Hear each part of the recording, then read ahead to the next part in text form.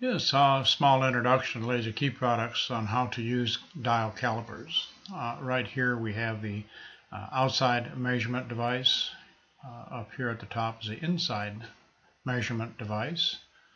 And then uh, down at the very end of the tool, this comes out to uh, measure like inside a uh, cylinder hole. So you have three measuring devices that you can utilize. First thing I measure this key and uh, get a, a, fairly deep depth there.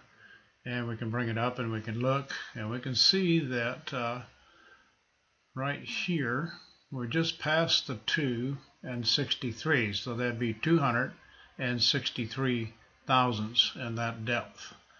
And you could relate that to a specific pin depth or wafer depth.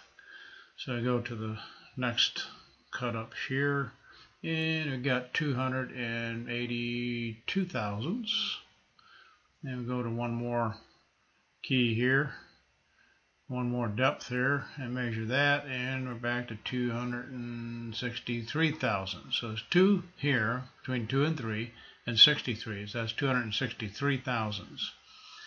So uh, you could uh, measure spacing also. If we were to measure this outside cylinder of this core, which we know is a half an inch, we can see that it goes to 5 and then right here is 1. So it's 501 thousandths, just a hair over half inch.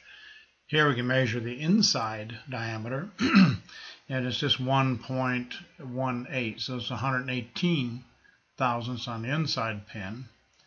And if we're actually to measure a pin we would see that uh, on the outside diameter is 115th thousandths. So that gives it three thousandths to slide inside that cylinder hole, that, that pinhole. If we measure the length on it, we can see it's just barely, barely inside the uh, three here and over here on the uh, 63, so it'd be 363 thousandths. We can then measure also using the depth gauge, the depth of the uh, cylinder hole itself or the pinhole. We hope it helps. Thank you.